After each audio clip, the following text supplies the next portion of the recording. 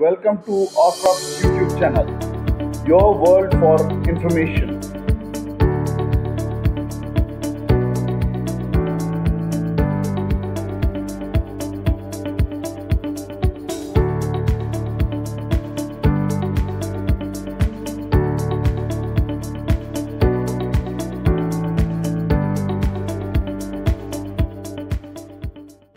How are you?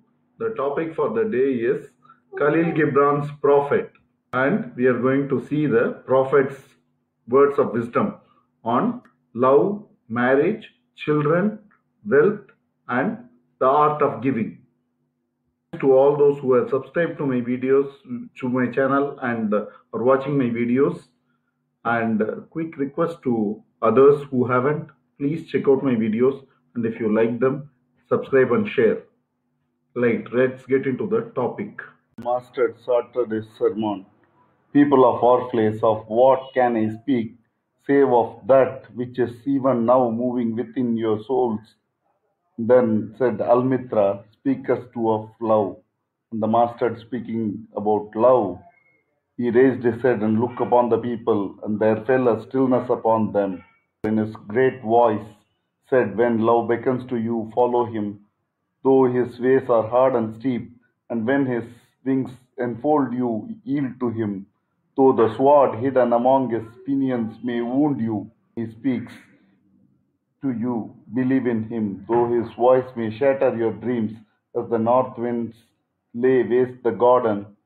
For even as love crowns to you, so shall he crucify you.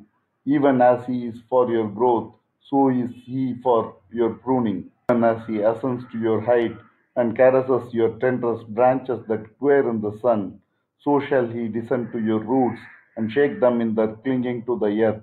Pass out of love's threshing floor into the seasonless world where you shall laugh, but not all your laughter, and weep, but not all your of your tears. Love gives not but itself, and takes not but from itself. Love possesses nor would it be possessed. For love is sufficient unto love. When you love that you should not say God is my heart, but rather I am in the heart of God. And think not you can direct the course of love, for love, if it finds your worthy, directs your course.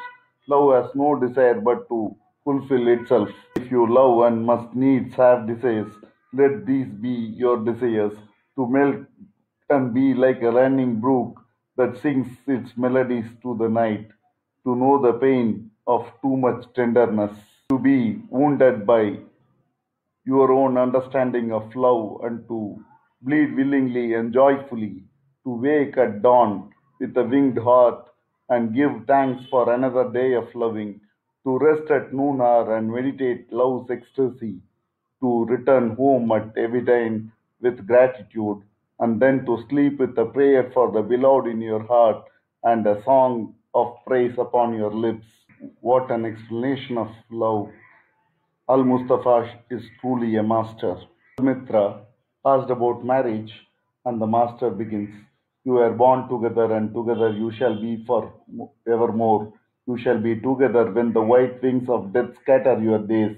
Yea, you shall be together even in the silent memory of God. But let there be space in your togetherness. Statement is this let there be spaces in your togetherness. Not many can think about this space in togetherness. Let the winds of the heav- heavens dance between you. Love one another, but need not make a bond of love. Rather, it be a moving sea between the shores of your soul.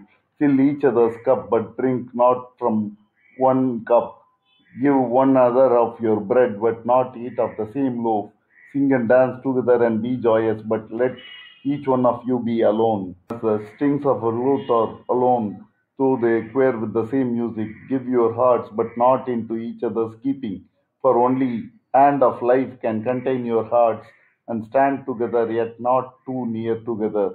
For the pillars of the temple stands apart, and the oak tree and the cypress grow not in each other's shadow.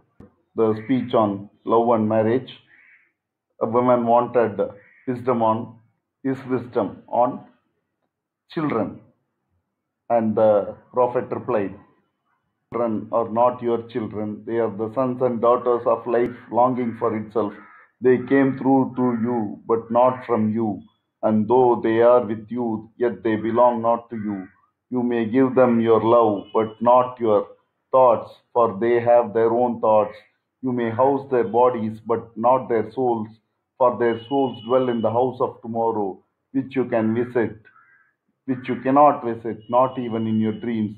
You may strive to be like them, but not seek to make them like you. Life goes not backward, not terrace with yesterday. You are the bows from which your children, as living arrows, are sent forth. Archer sees the mark upon the path of the infinite, and he bends you with his might, that his arrows may go swift and far.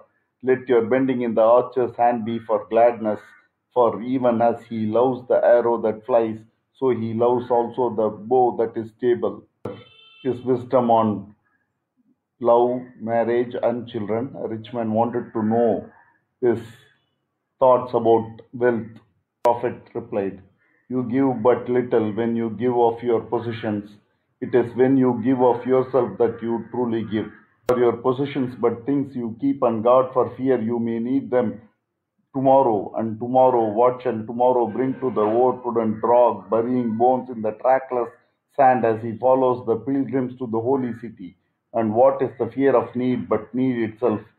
Is not dread of thirst when you, your well is full. The thirst is unquenchable.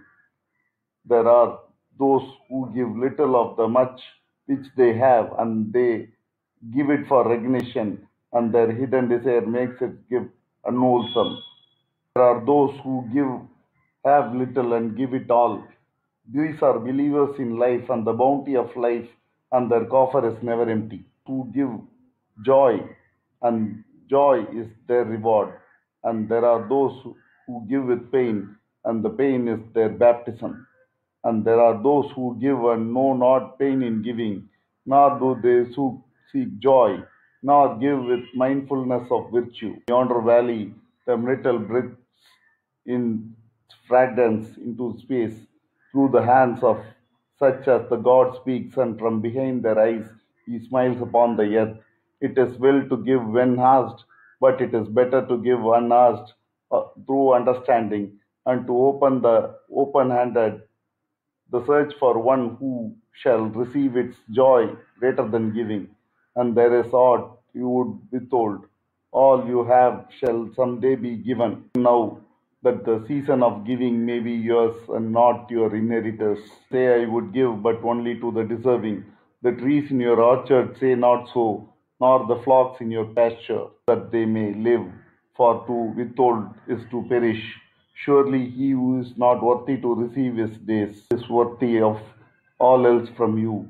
And he who deserves to drink from the ocean of life deserves to fill his cup from your little stream. But greater shall there be than which lies in the courage and confidence, my charity of receiving. And who are you that men should read, rend their bosom and unveil their pride, that you may see their worth naked and their pride unabashed? You see first that you deserve to yourself deserve to be a giver and an instrument of giving. Truth, it is life that gives to unto life, while you who deem yourself as a giver are but a witness and you are receivers and you are all receivers assume no weight of gratitude lest you lay a yoke upon yourself and upon him who gives together with the giver on his gifts on his wings for to be over mindful is to doubt his generosity who has the free-hearted earth for mother and god for father the master shared his wisdom on love marriage children and giving of wealth to the people whom he was bonded with for more than 12 years. And even during the parting, it was not an emotional speech, it was a peace of mind, mind of wisdom that was shared with the people and not the emotions. Emotions were controlled by the wisdom.